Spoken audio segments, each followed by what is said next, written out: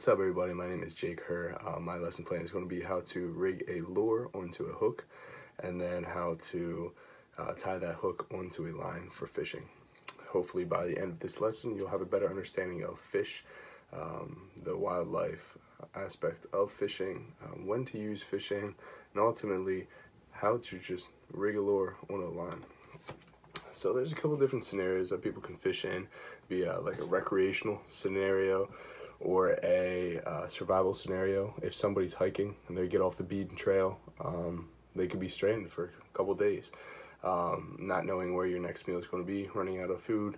Um, so fishing can really uh, help you get food, um, help you have a better chance of surviving and finding somebody, or just um, having recreational fun, uh, which is the other scenario.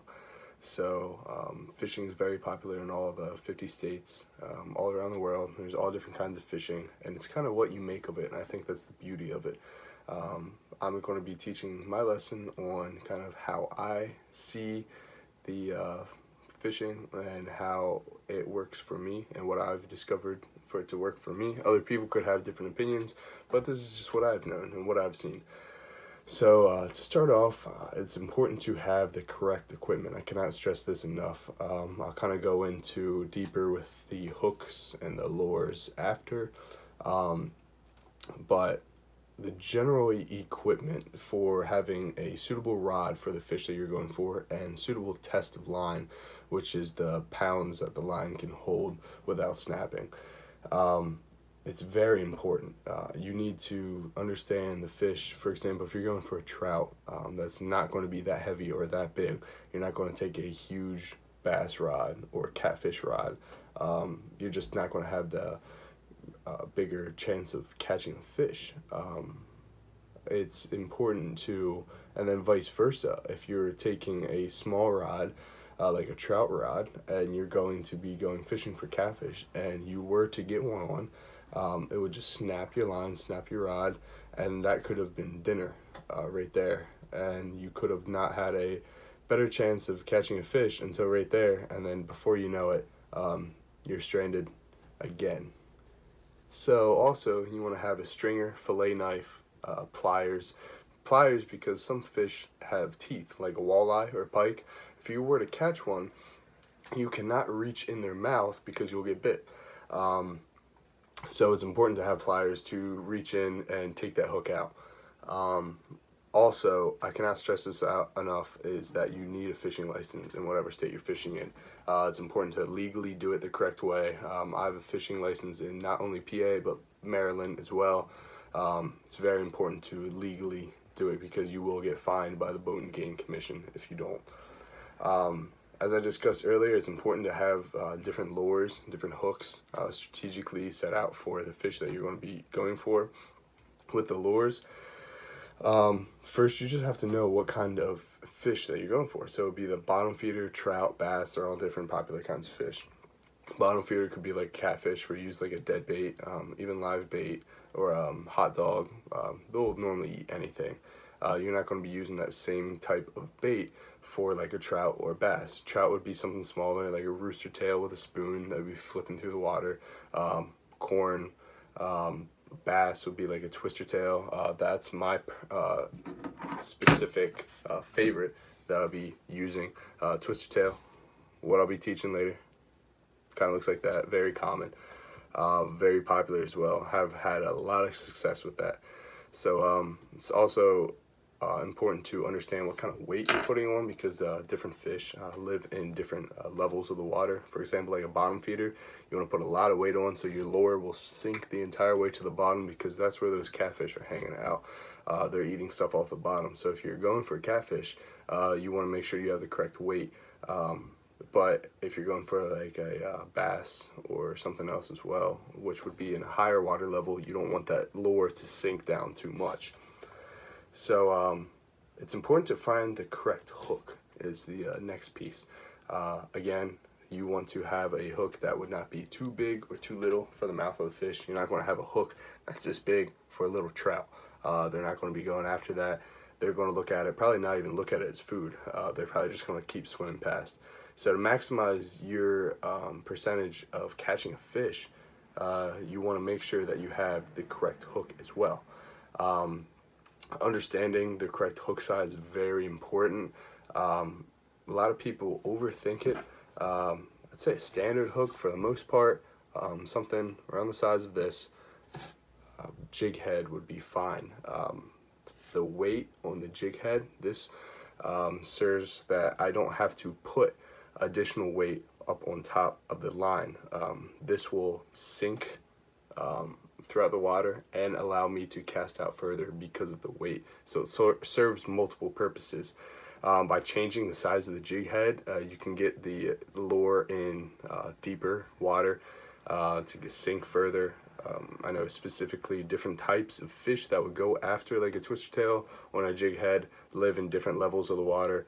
So um, if you want to be specific and get into it like that, you can. But ultimately, just a standard jig head and a hook would work.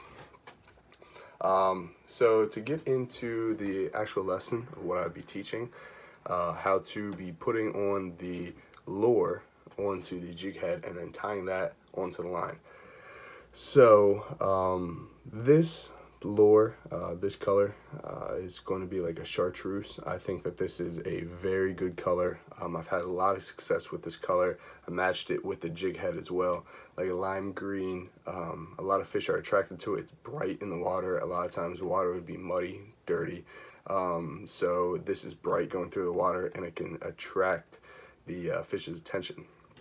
So you want to grab your hook, grab your lure, and you want to make sure everything is symmetrical throughout this process because fish are very smart and if they're looking at the uh, lure flopping through the water and it doesn't look lifelike, they're not going to swim at it and they're not going to go after it. So it's important to make it look as clean and as nice as possible. So ultimately, you're just going to take your hook, pop it right in the middle, slide it through, and notice that the edge of the, my hook has not come out the side yet. It is still inside. I'm to push it down until I get to the very end of the flat part on the hook. Also, it's normally around the edge of the body, or the end of the body of the jig. Twist your tail. And this little stopper here serves a purpose as you slide up the jig head that it will not slide back down. Because a lot of things in the water, um, tough current, uh, if you're hitting a rock uh, or just a fish on the line, uh, can pull your lure down and you don't want that. So as you can see, very symmetrical, right in the middle. Uh, as it will flow, the twister tail will spin. Um, going on to tie, this is going to be a double improved clinch knot. Feeding this through the eyelet. This is a six pound test. Uh, this is what I use, very common for bass. Uh, you won't really catch many bass that are above six pounds. If you do, uh, please tell me where you were fishing uh, so I can fish there as well. but so you want to feed through, put your finger over top, kind of loop it around, the, the end, loop it around. So you kind of have a loop around your finger like that. And then you're just going to twist it. Twist it around the end where you made that loop five to seven times. Just keep going. And then if it slips out, just keep going five to seven times. So you're going to have this. It's going to look like that and then you're going to feed the end back up through that loop where your finger was. And ultimately, you're just going to pull either side through, and it's going to make a knot. It should just look like a bunch of wraps going through. It's important to then trim off this extra, this excess, um, I personally bite it. A lot of people will cut it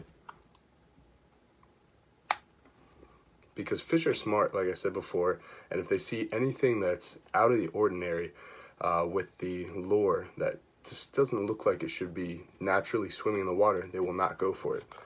So right here, here's the lure um, on the improved clinch knot. Uh, this is what I personally would use for bass fishing. Uh, you can also get a walleye on it, a bunch of different panfish as well, like sunnies, um, different fish like that. So this will be a very good bet to catch uh, different fish if you're just tossing something in.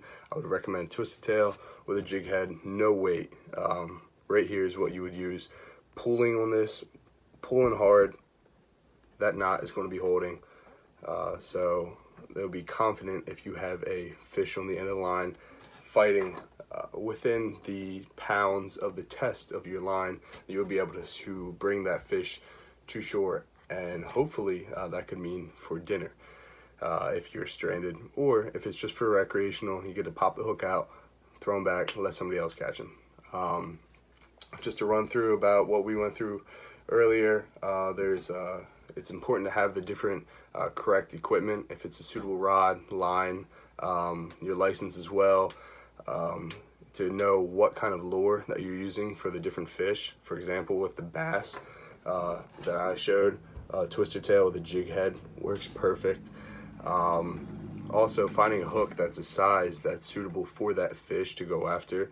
Uh, and you don't want a huge hook that's going to be poking out that they can see. Uh, you want something that blends in, is moderate to the size of the lure. And then um, just putting the lure up through, making sure everything is symmetrical and then um, tying the improved clinch knot. Uh, that's very simple. Just ultimately looping up through, wrapping it five to seven times, feeding it back through that hole that your finger made, and tying it through, biting off the excess end. Um, the more you do it, practice makes perfect. It makes it a lot easier. Um, hopefully that you guys have discovered something new today. Um, I personally really like fishing. I think it's a lot of fun. I learn something new every single time I go out. Uh, hopefully this will spark your interest and um, get you out uh, fishing and discover something new. Or if you already like fishing, fishing, hopefully I taught you something new and you can implement to what you're doing. So hopefully you guys have a great rest of your day. Thank you for tuning in.